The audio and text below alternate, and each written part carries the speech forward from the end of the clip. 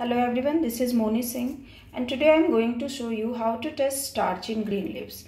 Okay, for that we need green leaves like this and then we need to boil it in water for 5 to 10 minutes. That already I did to save time. And after boiling it, we need to remove the leaf by using forceps or a fork.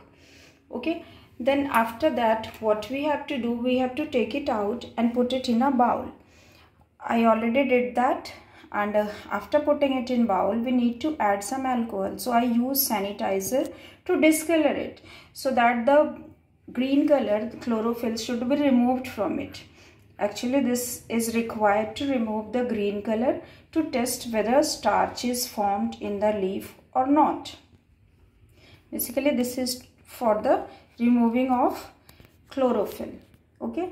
Then after that as you can see the solution is green this is green. The sanitizer which is which was having alcohol which I used you can see it changed to the green color. That means the color of the leaf is removed. Now I'm putting this discolored leaf on another bowl. Now we need to add few drops of iodine. I'm putting few drops of iodine after putting iodine we have to test whether it will change its color the leaf color will be changed or not. If the color will change to blue black that shows that the leaf is having starch. That means leaf has formed starch in it. Starch is found in the leaf.